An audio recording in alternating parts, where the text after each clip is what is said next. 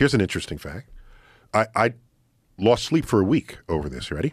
The common ancestor between humans and mushrooms split later than the common ancestor than its common ancestor split with green plants. What that means is we and mushrooms are more alike than either we or mushrooms are to green plants. In Well, tr- mushrooms breathe oxygen. all I'm saying is, you you grill a portobello mushroom. What's the first word people use to describe it? Vegetarian. No, they they talk about mushrooms tasting meaty.